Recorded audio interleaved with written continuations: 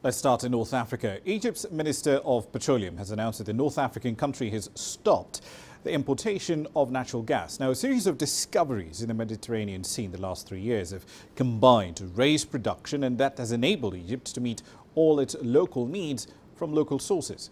Yes, CGTN's Yasser Hakim now taking a look at the impact of Cairo's decision to end all gas imports. The cost of importing petroleum and gas products has been a huge burden on the state budget. That's why the decision to end gas imports has been welcomed here. Egypt's consumption of natural gas was 6.2 billion cubic meters.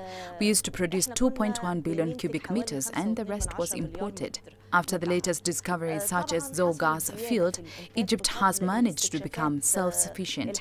The state will save nearly $2 billion on its import bill. The government says the money saved will be directed to upgrade the health and education services. There are also plans to export natural gas. Egypt has two major LNG plants on the Mediterranean Sea.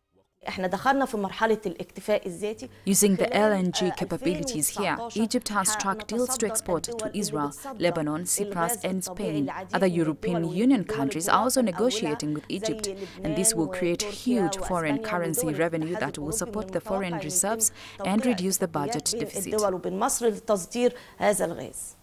The natural gas revenue has enabled the government to pay off its debt to foreign oil companies. Debts have shrunk from $6.3 billion to 1.2 billion, encouraging more oil firms to invest in the country. Egypt is working hard on becoming a major energy hub in the Middle East or North Africa region. After the latest discoveries along the Mediterranean Sea, Cairo has announced that oil companies will now begin explorations along the Red Sea as well. Yasser Hakim for CGTN, Cairo.